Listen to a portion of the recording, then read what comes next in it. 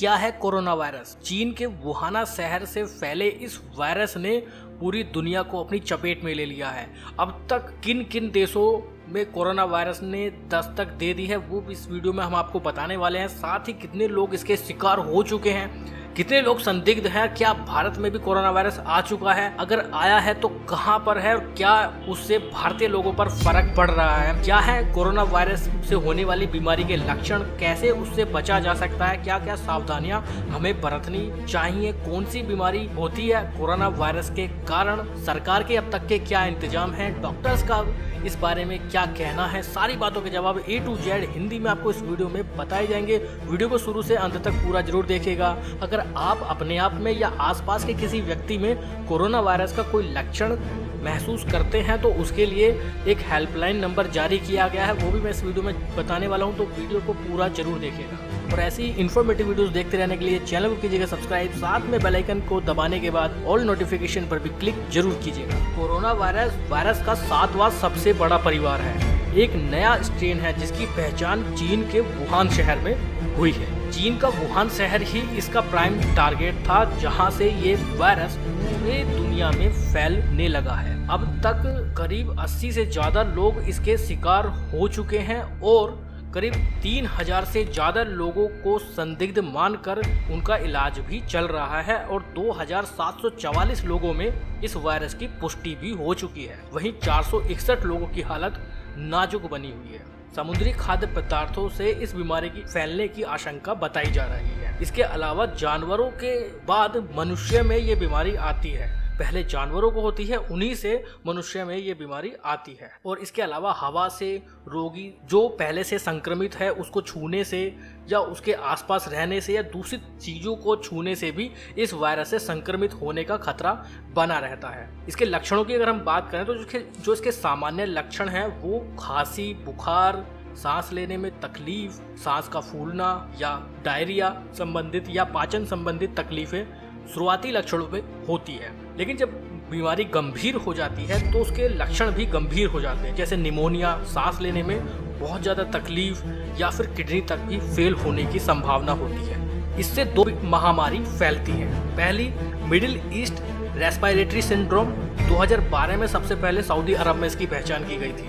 जिसमें 800 से अधिक लोग इसके शिकार हो चुके थे। उस समय ऊँटों से ये बीमारी लोगों तक पहुँची थी। दूसरा, सीवियर एक्यूट रेस्पायरेटरी सिंड्रोम।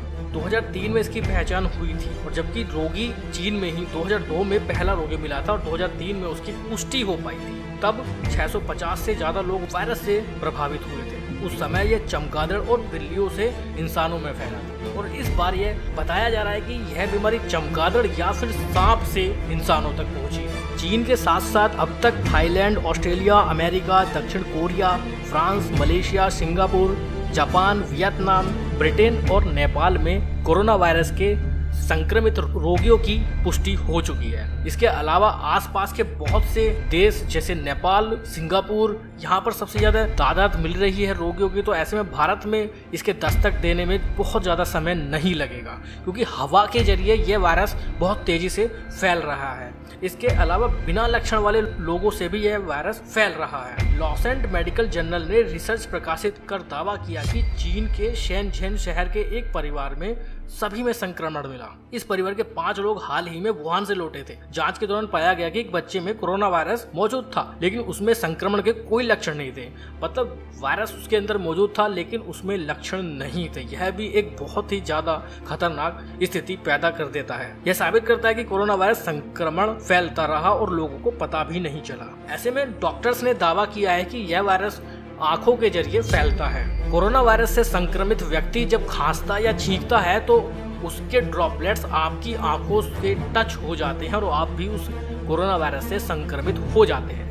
या फिर रोगी को छूने के बाद अपनी हाथ से अपनी आँखों को छूते हैं तो भी संक्रमण फैलने की संभावनाएँ बहुत ज़्यादा बढ़ जाती है। क्या क्या सावधानियाँ बरतनी चाहिए?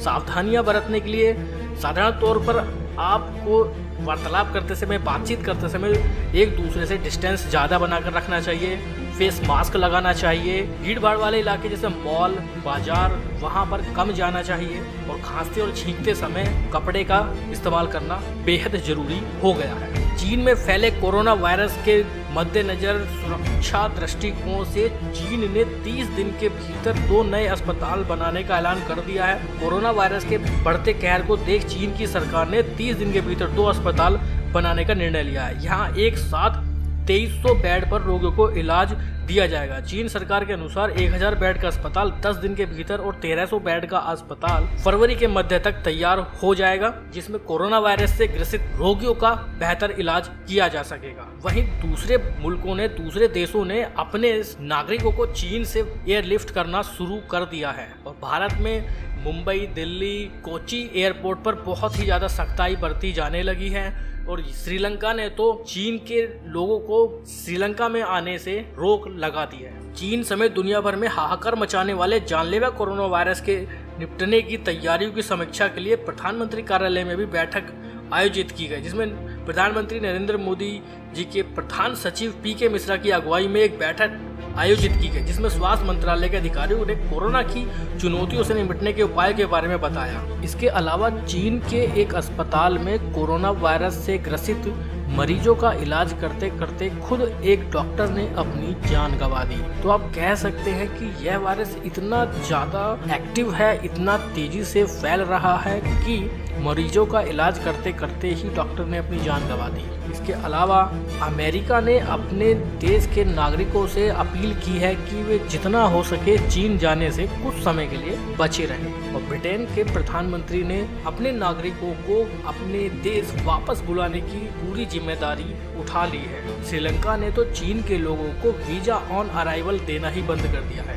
वहीं रूस ने चीन से लगी सभी सीमाएँ पूरी तरह से सील कर दी किसी भी तरह की आवाजाही पूरी तरह से बंद कर दी। इसके अलावा पाकिस्तान के 2000 छात्र जो वुहान सिटी में रह रहे हैं, पढ़ाई कर रहे हैं उन्होंने पाकिस्तान के प्रधानमंत्री इमरान खान से गुहार लगाई है कि उन्हें वे वापस अपने मुल्क पाकिस्तान में एयरलिफ्ट करा लें। अगर उन 2000 छात्रों में से किसी एक को भी संक्रमण हुआ तो सभी की जान खतरे में पड़ सकती है।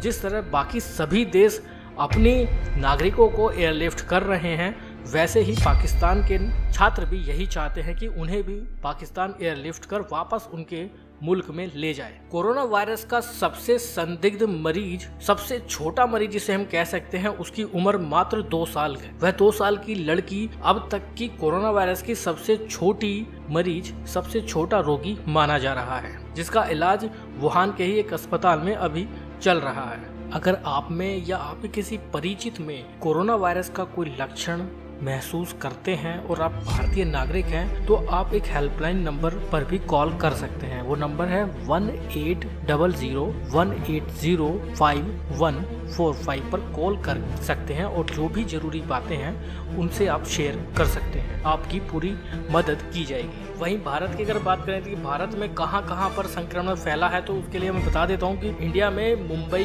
राजस्थान और बिहार में अभी एक एक संदिग्ध रोगी मिला है जो हॉस्पिटल में एडमिट है और उनका इलाज किया जा रहा है। लेकिन उनमें भी अभी तक पुष्टि नहीं हो पाई है कि वो कोरोना वायरस से संक्रमित है या नहीं।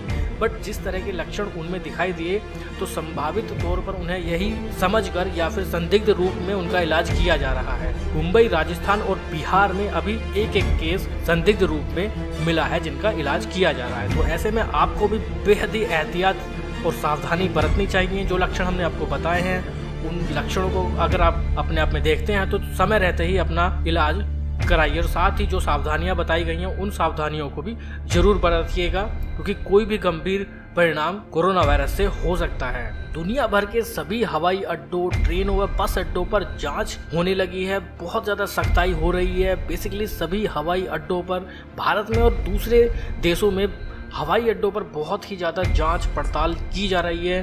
खास तौर पर जो फ़्लाइट चीन से भारत आ रही है, उन फ्लाइट्स पर, उन यात्रियों पर बहुत ज़्यादा कड़ी नज़र रखी जा रही है। उनका पूरी तरह से स्कैनिंग की जा रही है। कहीं उनमें कोरोना वायरस मौजूद तो नहीं है। ऐसे में भारत में भी बहुत सी गाइडलाइन जारी की गई हैं कोरोना वायरस के लिए। जैसे ऐसे सभी व्यक्ति जिन्होंने चीन देश की यात्रा की है, परंतु जिनमें भारत आगमन के समय पर उपरोक्त में से कोई लक्षण उपस्थित नहीं है, वे चीन से आने के उपरांत 28 दिनों तक घर के बाहर अपना आवागमन यथासंभव सीमित रखें। यदि ऐसे व्यक्ति में भारत में आने के 28 दिन के भीतर में कोई लक्षण विकसित होता है तो खांसी अथवा बुखार के लक्षण विकसित हो जाने वाले ऐसे यात्री तत्काल अपने निकटतम अस्पताल में संपर्क करें। लेकिन हम अपने चैनल के माध्यम से यही अपील करना चाहेंगे कि साधारण खांसी, जुकाम या सांस फूलना को आप कोरोना वायरस ना समझे। ज़रूरी नहीं है कि सभी साधारण खांसी, जुकाम या सांस फूलने की तकलीफ़ में आप में कोरोना वायरस मौजूद होगा।